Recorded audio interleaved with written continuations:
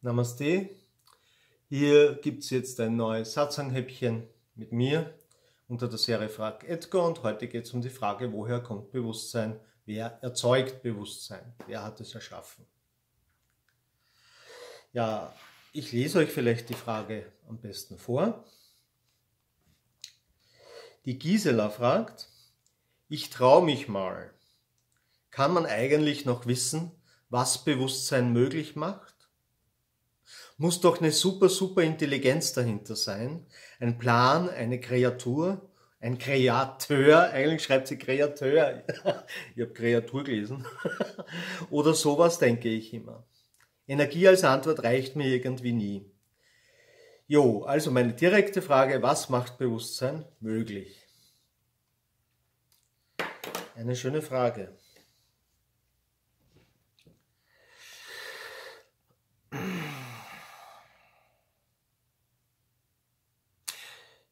Aus meiner Sicht, wenn man Bewusstsein, das was Bewusstsein ist, wirklich zur Gänze erfahren hat,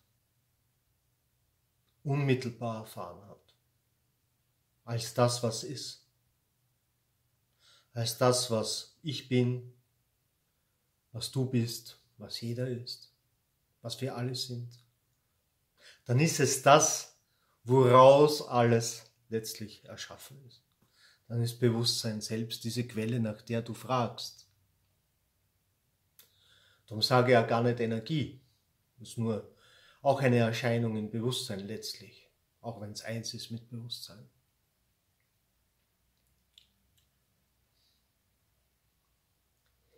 Und wenn du dann zum Beispiel sagst, die Frage würde dich, äh, die Antwort würde dich nicht befriedigen, dann liegt das daran, weil du dann Bewusstsein in seinem vollen Umfang nicht erfahren hast, sondern das verwechselst mit menschlichem Bewusstsein, mit diesem individuellen Bewusstsein, dass du glaubst zu sein, wo du glaubst, du wärst nur ein Tropfen, einer von vielen und jeder hat dein Bewusstsein. Dem ist aber nicht so. Du bist dieses ganze Bewusstsein, du bist alles, was ist. Und das braucht keinen Schöpfer. Hätte es einen Schöpfer, dann würdest du ja, ähm, erst recht wieder fragen können, und wer hat diesen Schöpfer erschaffen? Ja, wenn da ein Schöpfer wäre, der so immens intelligent ist, um, also super, super, super intelligent, den gibt's ja, nur ist das eben Bewusstsein. Aber wenn es einen gäbe jenseits vom Bewusstsein, der das alles erschafft, ja, dann müsste es ja noch eine viel intelligentere und großartigere Kreatur äh, sein, die auch diesen Schöpfer erschafft. Ja, also der Schöpfer selbst wäre ja dann nicht der Kreator, sondern auch wieder eine Kreatur also ein Objekt. In Wirklichkeit ist aber Bewusstsein selbst schon das Subjekt, das eine Subjekt. Das braucht keinen Schöpfer. Die Schöpfung selbst ja, erschafft sich in jedem Moment selbst aus Bewusstsein heraus. Und wenn man zurückgehen möchte, ja, wenn man Bewusstsein als Ich bin bewusst sieht, dieses Ich bin ist auch schon eine Erscheinung in Bewusstsein. Das reine Bewusstsein, ich nenne es gern Gewahrsein, oder Sein an sich, das kommt letztlich aus dem Nichts.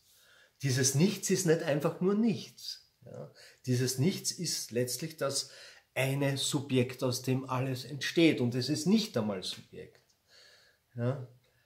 Selbst sich als Subjekt zu sehen, ist schon eine Erscheinung. Sich selbst als Bewusstsein zu sehen, ist schon eine Erscheinung und auch eine Identifikation. Es braucht alles nicht. Bewusstsein ist.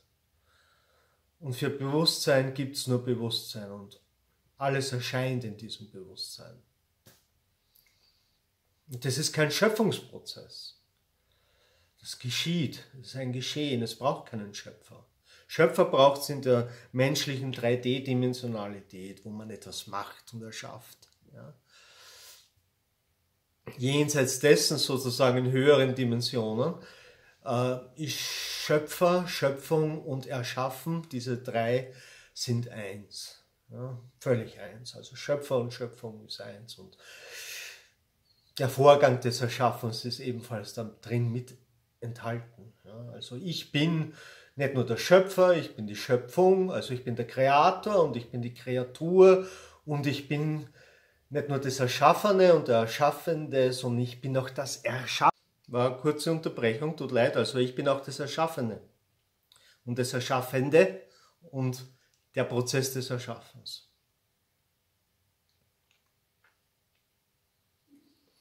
Da braucht es nichts Externes. Du bist das alles. Und ich bin das alles. Wir alle sind das alles.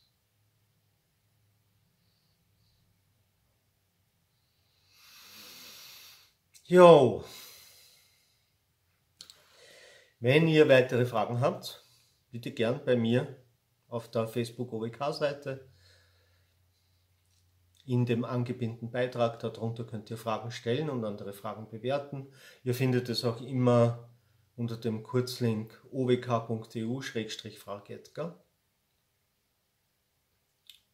Und ich freue mich über gefällt mir, ich freue mich, wenn ihr es teilt, sofern es euch gefällt und ihr es gut findet.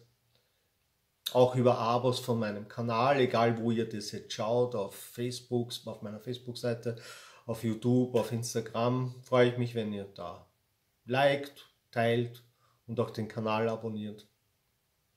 Ja, und wünsche euch eine gute Zeit. Das nächste Häppchen kommt dann wieder in einer Woche.